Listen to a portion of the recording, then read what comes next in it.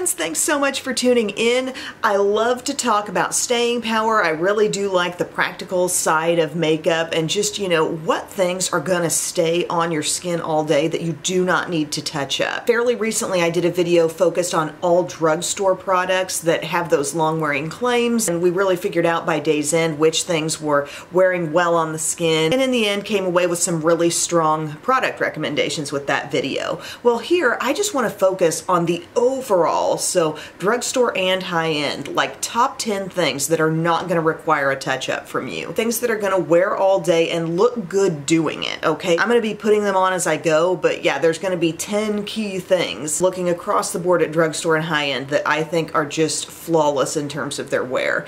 Um, so I've already prepped my skin with my skincare, and I use this too as my primer. I freaking love this stuff, this Maybelline Perfector 4-in-1 Glow Makeup. I wear the shade light and I mean the skin looks really pretty after you put that on but I always have good staying power when I use this as my base. I don't know what it is. It's not really like it has a super long wear claim but it just works that way. Okay, number one the CoverGirl Outlast Extreme Wear Light Airbrush Finish Foundation. So I've always thought this was a strong product for staying power, but this past weekend it was absolutely completely proven to me because I wore this all day long and then got completely poured on, just drenched. And I looked at my makeup again afterwards and guys, I, I shot a TikTok after that and the makeup looked fresh, okay? Like all I did was like dried myself off a little bit. The face still looked good. It was crazy. I mean, I was completely wet. And it was like not only that, but it had gone through like an entire day from like 5 a.m.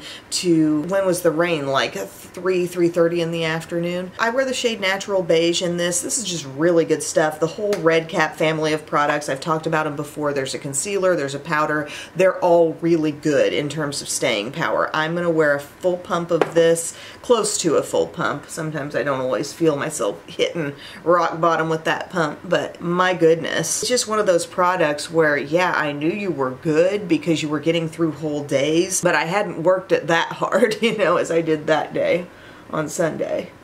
And it kind of drove me to really think about the products that wear so well. Um, this is my Dollar Tree sponge here. I love the surface area on the bottom. It's got a real big like flat zone there and it blends stuff in so smoothly and evenly.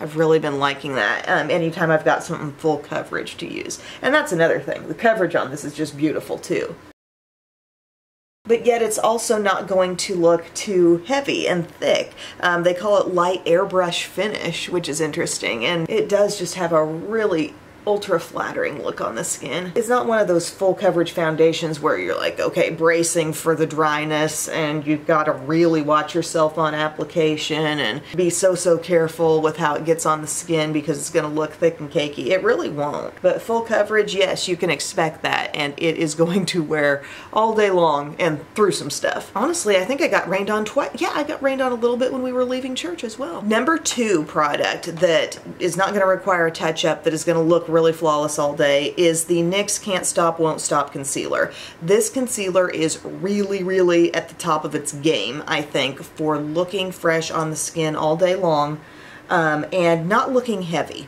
okay? It's a fine line we walk. We want the coverage, but we don't want it to look like a lot has been put there. I'm wearing the shade Vanilla and I'm putting it everywhere concealer is needed for me today, okay? So I'm going to get some brightness out of this shade, but I'm going to get coverage too. Another little tip that I have, um, you know, I'm kind of using a beauty blender today, but I can take a brush, a smallish brush, blend it out. You've seen me do this a lot before, but we work on that surface area. We make it take up more room, and then we start dabbing it in with the sponge. Get around that nose then coming in here and instead of just going directly over tiny dots with this big old sponge, we are now going over a nice smoothed out surface area. But I've been just super impressed with this one. I feel like I can be content with the coverage, but it's not looking like a lot. And even when I check up on it later in the day, I'm like, you know,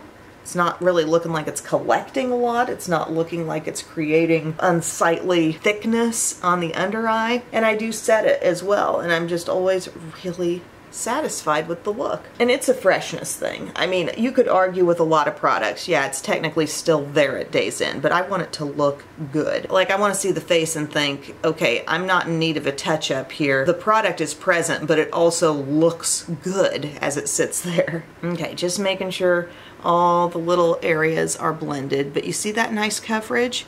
And it doesn't look like a lot, does it? I think I'm ready to make a statement about loose powder and what maybe the very ultimate best loose powder is. And I believe it's this Laura Mercier Ultra Blur. It's the translucent loose setting powder Ultra Blur. It's talc free. I feel like it can be worn over literally any concealer, any base look and look good and do exactly what I want it to do by setting also make the look seem a little more flawless, but I think it plays a role in everything looking fresh all day. I remember saying quite a while back that I felt like this was a step up from the original Laura Mercier translucent loose powder, which is a great product, but I really, the more I use it and the variety of concealers I put it on top of, I'm really convinced that this is the stuff. There are some great drugstore translucent loose powders, don't get me wrong. I love my Wet n Wild Photo Focus. I love Maybelline Fit Me.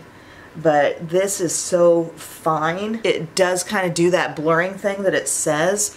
And then, you know, where we really get into the staying power is just the fact that it's looking good all day. I think it's helping the evenness of wear of the whole look wherever I'm putting it. But this is part of the reason along with this that I'm looking up at my under eye at 3 in the afternoon and thinking, that doesn't look too bad. That doesn't look crusty. That doesn't look dry. It doesn't look heavy. I think this loose powder is quite important actually. So I apply it like you just saw and then I can take my little Morphe under eye bullet brush, dust around, you know, get rid of any excess, but I have a really smoothed out look, very even coverage. Nothing looks dull or dim. I've tried so many like kind of brightening effect powders on the under eye, but look how this is just smoothing. And I would have to say it's really doing the blurring thing. I've given it some pretty high praise before, but I think now in the conversation of staying power and what are truly the things that last the longest and look the best, this really shines in that arena. I did not specifically name a bronzer. The bronzer I'm gonna use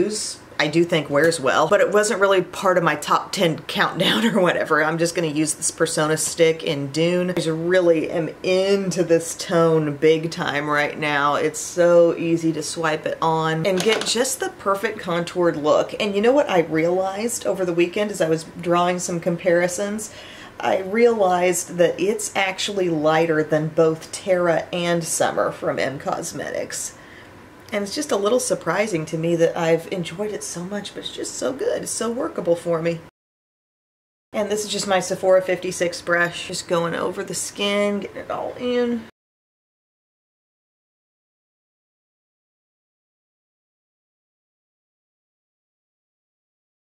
See how pretty that is? Like it just always looks good. I love that stuff. It's got a little sunniness to it, you know, but it's not in the least orangey and it's just the perfect tone. So at this point we've got three products that have been named um, in our long wearing countdown. We've got the CoverGirl foundation, the NYX Can't Stop Won't Stop concealer, the Laura Mercier loose powder, and now we're gonna move into a blush. It's actually a lip and cheek product that I think is outstandingly long wearing. Part of the reason why it's a pretty intense tone, but it can definitely be counted on. It wears really well. It's the Ami Cole, I'm saying it right now, um, Desert Date Cream Multi-Stick. The shade is Spice, so this is the plummy one. I own several of these. This was the first one I got. I love and adore the richness in this shade. It is so beautiful and it's great on the lips too. I'm going to have a different product to discuss for lips today. It makes such a pretty cohesive look when you do that multitasking. But why does it work so well on the cheeks? I think it's because it's a little drier stick than a lot of my cream products are. It's a matte finish and it's also got a lot of strong pigment. Not a product that's going to be drifting around and away on your skin. It's just really, really good. You saw how dark it was when it first went on, okay? It looks super plummy. It shears out and you get like a kind of a soft plummy rose sort of thing. A little more pink comes out in it. You can adjust, you can add. For it to be like a matte stick and be that easily blendable for me, I think that's also saying something. But you can get these sticks from Sephora. I have um, the shades Flame, I believe the orangey reddish one is called, yeah, Flame, and Dune is a bit more nude. So there are options. I'm just added a little bit more down here toward the apple of the cheek because I was more up here with it at first.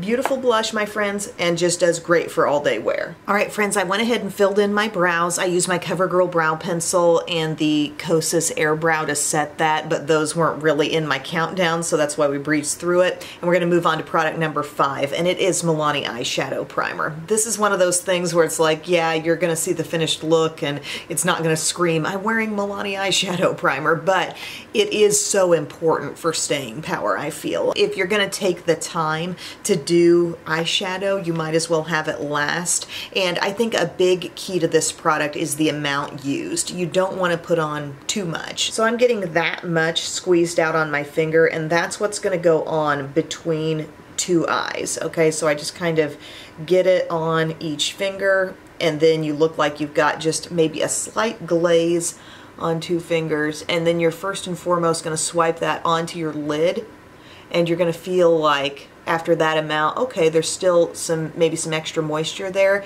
You're gonna feel yourself blend it through your crease. Yeah, who knew we needed an eye primer tutorial? um, through your crease and then dab whatever is left up to the brow bone, okay? So your priority zone is that lid and crease area. Whatever is left gets placed up toward the brow. This is not that kind of really opaque blanket out type of eye primer. Um, you might find it gives a slight bit of coverage to your lids, but that's not really what it's all about. It's about um, being that base that can grab the eyeshadows, make them look more vibrant, and also make them last longer. I truly feel it's the best in the business. It definitely has outperformed different high-end eye primers, other drugstore ones that I've used. It's just the kind of thing I don't want to be without. So when we're getting into that staying power conversation. Um, while there are some things like foundation or blush or powder where it's much more obvious, this is a bit more under the radar for the look, but it's important. Product number six in my top 10 is an overall brand of eyeshadow. I said this in a video recently, but I feel Natasha Denona eyeshadows are so long wearing. They do a fantastic job of looking really good all day. There are a couple of other brands that I think are up there with Natasha Denona, and I would have to say it's Patrick Ta and also Viseart. I think what these brands have in common is really strong pigmentation and a formula that's able to just go on so evenly, wear really consistently all day. I am time after time with various different Natasha Denona palettes though. I'm able to see my look at day's end and say, yep, that was really, it looks exactly the way it started. So I just grabbed for one today one of my favorite Natasha Denona palettes. It's the My Dream palette. You'll see the palette palette and know why I enjoy this one so much. I'm just going to do a basic little look with her today. Again, we're going on top of Milani eyeshadow primer, so that's always a factor. I'm going to go up here to Carpe Diem. Nice matte, kind of dusty rose, and start getting that in my crease. The pigment is just so strong. with these shadows. I mean, that's a huge part of things. And you might be saying, well, can drugstore shadows last a long time too? Yeah, I can use a do a full look with Profusion and be pretty happy with my staying power as well. But I think with Natasha Denona, it's like the identical nature of the look at day's end that I can be really, really pleased with. A little tidbit I should probably share is that I do not have especially oily lids. Some people just have very like oil producing lids and it's always a struggle um, to get anything to last a long time. I'd like to hear what your experience is like with Natasha Denona shadows. I don't think my eyes are naturally producing a lot of obstacles. Um, sometimes I will get watery eyes though or a little irritation going on. Not from makeup but like with my contacts and stuff. And the shadow still holds on. So I'm just working with that one shade. I've gotten it into my crease. I've let it kind of come upward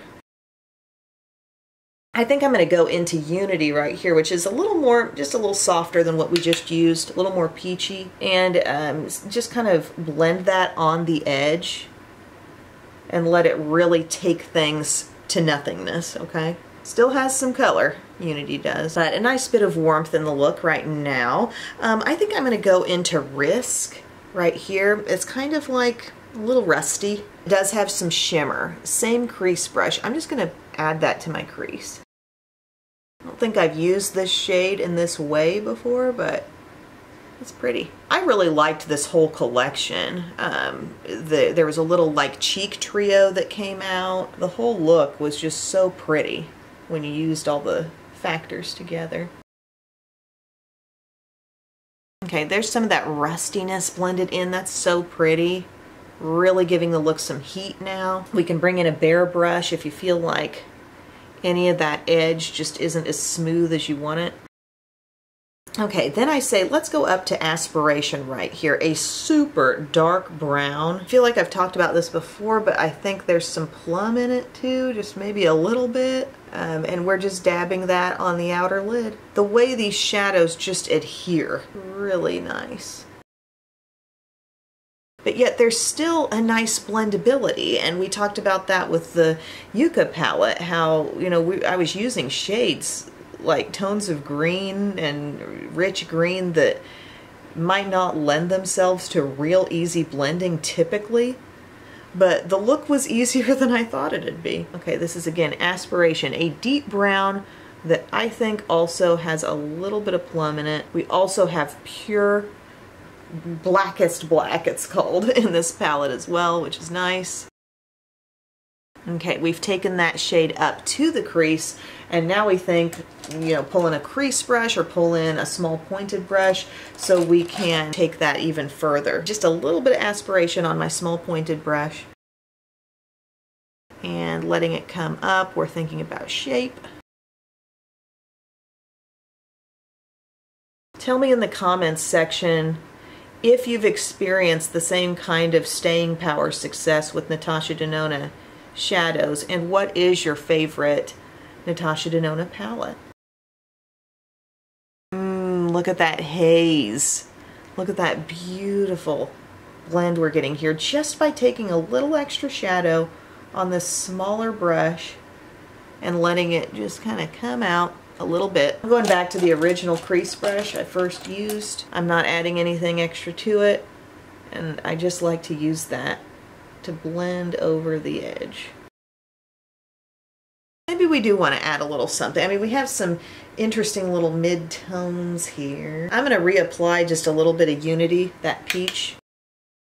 Just add a little bit. And as I often do with Natasha Denona palettes, I find myself thinking, wow, isn't it coming together quickly? We're almost done. I think I'm going to use a little bit of Serenity, this taupe right here, and put some of that on like this inner lid space. Gosh, I love the big mirror too. Okay, so that's looking just like a, a cl very classic taupe, center of lid. And then we'll come inward. Let's use this one called Spontaneous right down here. Little champagne number. Palette is also doing its thing without creating a bunch of fallout all over my cheeks, which I appreciate.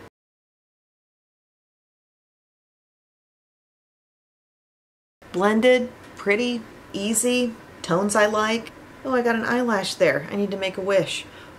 I am simply not let down by these eyeshadows. So really pleased with that look. I didn't choose to go under my eye with much today, but I mean, could do some pretty hazy, smudgy things down there as well. But we are moving on to, let's see, what number are we on? Number seven is an eyeliner you can totally count on for staying power. It is the Sephora Colorful Wink It Felt Liner Waterproof, and the shade is Little Black Dress. This liner will last and last if you got a special occasion, a wedding, a funeral, you name it, it is going to look intense. It's going to be juicy enough. Some people like to point out that I like the word juicy, but juicy or moist, you tell me in the comments section. What would you rather be hearing? It's got enough saturation in it to really easily go across my lash line. I mean, I've used this a lot by this point and it goes over pigmented shimmery shadow with so much ease. It is a felt tip. I know there are brush tip pens out there, like I love the M Cosmetics brush tip,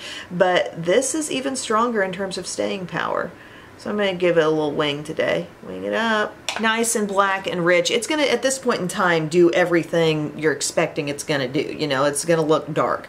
But the real test is how it stays 100% looking the same the entire day. And that's what it does. So you can count on this. Um, it's a very, very good eyeliner. I would say a substitution you could make here for drugstore. I know Sephora Collection is like less expensive, but if you want to buy something at the drugstore that's really good, it's the Milani Stay Put Matte 17 Hour Wear Eyeliners. I think why this is edging it out a little bit is just the pen design is easier. Those are like the little traditional liquid liner inkwell type deal, which if you're comfortable with that, go for it because those are great. As we've said many a time, those lasted through childbirth. I suspect this would as well. Two good liquid liner styles. One's just a pen, the other is, we'll call it Inkwell. We got us a little wing there. For pick number eight, it is going to apply to mascara, but it's not just mascara. It's really a mascara primer slash sealer. A lot of you guys probably know what I'm about to say, but it's the Estee Lauder Little Black Primer. So what this does is, um, after I curl my lashes, I can apply this and this is gonna lock in curl. So the extended wear of a curl in your lashes that's what this is about. And then also, when you've put your mascara on top of this stuff, you can apply more and it will seal it from flaking. So it's kind of doing a one-two punch on staying power with your lashes, but it's not an actual mascara. You know, it's not going to bulk it up the way mascara does. It's priming, it's locking in curl, and then it's sealing it off. So to me, that's really important. The fact that it can do such important functions, but you know, it's going to pair with a mascara of your choice. It's kind of of working in this whole idea the way Milani eyeshadow primer does, right? You know, it's kind of under the surface, but it's important. Let's say it's not a false lash day and you just really want to have the lashes looking their absolute best. Little black primer should probably be involved in the look. So often you're watching me maybe try a new mascara on this channel and it's like I'm not going to sort of cheat with this and give it all those extra advantages because I'm just trying to see how the new mascara works. But when it gets right down to it and you want things to look their best, this is what it's all about. I pretty much always have a backup on hand. So it's a small brush and when you first put it on, so right now I am like doing its hairspray function. I'm locking in the curl that I just did. And it's not gonna look like much. Your lashes may just look a little bit darker, but it's not about a real bodybuilding thing. Tint Amplify Set is what the tube says. That's pretty accurate. It's the holding in of the curl that is so special. If that's really an issue for you, you're going to notice an impact here. And you'll notice also at day's end, your mascara will be a little more resistant to removal. Like this will be the day that you pull in your Lancome eye makeup remover. Okay, we got curl locked in on both sides now. Now put on whatever mascara you want to use. I'm going to use CoverGirl Exhibitionist Stretch and Strengthen today. Um, this was a rediscovered mascara for me recently and I said I think I'm going to repurchase that because I want to continue to have that on hand and I did. Okay, so now you'll maybe be able to see a little bit more what the little black primer did because everything's standing at attention, nothing's dropping. Look at that nice upturned curl. This mascara will certainly thicken you up to the point where you can totally see what's happening.